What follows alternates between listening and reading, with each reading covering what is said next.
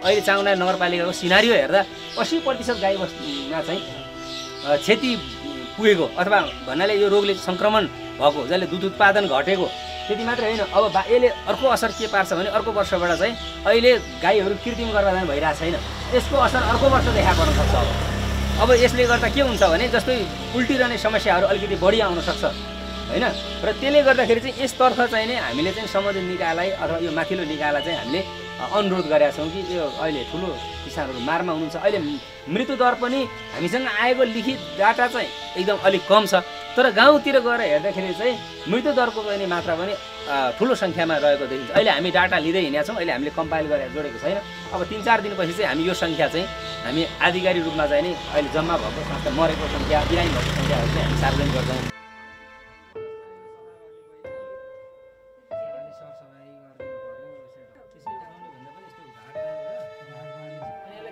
John.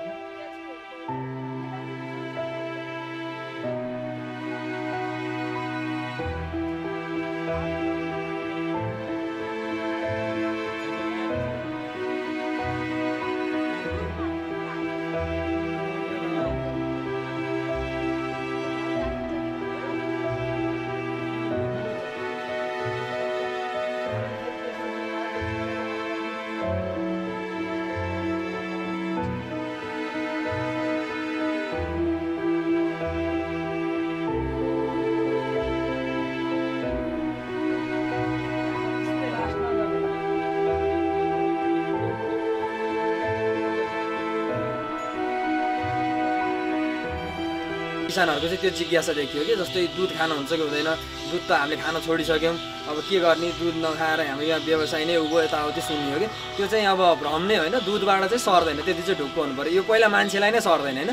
यो चाहिँ गाई र भैँसीलाई लाग्ने नितान्त गाई र भैँसीमा मात्र लाग्ने रोग हो होइन। भैँसीलाई छिटपुट। गाईलाई चाहिँ एकदम बढी। भनौँ न। भैँसीसँग चाहिँ यो रोगसँग लड्ने क्षमता बढी छ भनेर बुझ्नु पऱ्यो अब बाख्राहरूमा लाग्यो भनेर कतिले चाहिँ हाम्रो त्यो भ्रमिक हल्लाहरू फैलाउनु भयो कि। जस्तै बाख्रामा नै हल्का गाँठागुठी आयो। त्यस्तो फोका देखियो। अलिअलि अब कराउनु थाल्यो स्ट्रेस भयो भनेपछि अनि उहाँले चाहिँ लम्पी लाग्यो कि बाख्रालाई नै भन्नुभयो। त्यो चाहिँ एकदम भ्रमको कुरा हो है। बाख्रामा चाहिँ यो लाग्दैन। तपाईँहरूले के बुझ्नु पऱ्यो भने गाई र भैँसीको रोग हो भनेर बुझ्नु पऱ्यो त्यसमा पनि गाईलाई मुख्य भैँसीमा चाहिँ एकदम कम लागे पनि उसले थेक्न सक्छ यो रोगलाई। हाम्रो अहिले रिपोर्टमा पनि हामीले भैँसीमा चाहिँ खासै लागेको पाएन। लागे पनि त्यो मृत्यु त खासै भएकै पाएकै छैनौँ र लक्षणहरू पनि खासै नदेखेको र भैँसीले चाहिँ सजिलै यो रोगसँग जित्ने हामीले देख्यौँ होइन। गाईमा चाहिँ अलिक सिरियसै हुने अवस्था पनि देख्यो। अब त्यो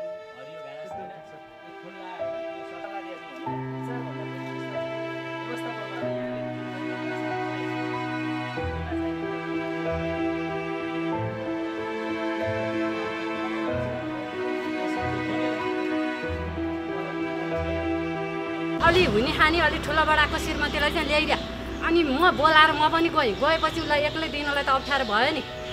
औषधि नाम्लेको पनि छ भिटामिन छ मिनरल पनि छ बाख्रालाई। अनि यो त गाईले खुवाउने औषधि यो मिनरल पनि बाख्रालाई खुवाउनु मिल्छ। हुन्छ भन्दा यो चाहिँ तपाईँ लानुहोस् त उसले उहाँलाई मात्र ल्याइदियो उहाँको बुढीले भने भएर फलानाको बुढीलाई मात्र गर्थ्यो भने। अब यो नगरेर हामी चुप लाएर यस्तो भएको क्या यसरी औषधि आउँछ भने चाहिँ कहाँ आउँछ कसरी? उहाँलाई मात्र रहेछ नि हामी ऊ होइन त? भेटनरी अफिस राखेपछि अफिस ठाउँमा अफिस खडा हुनु पऱ्यो कि त नगरपालिकाका नि कर्मचारीहरू स्थान विकासमा गएर बढ्नु पऱ्यो त्यहाँ खल्ली हप्ता एकचोटि गएर बस्नु पर्यो। होइन भने जस्तो त्यहाँ अफिसमा काट्दैन हरमेसा छन् भने यहाँ पनि दरबन्दी अनुसार बस्नु पऱ्यो र औषधि दरबन्दी दिने कि के गर्ने गरेको छ नगरपालिकाले दिन्छ कि हामीलाई वा अफिस भेटनरी अफिसले दिने हो। त्यो चाहिँ नि हामीलाई केही यो यहाँका मान्छेलाई चाहिँ कुहिरा कागज जस्तो केही थाहा छैन।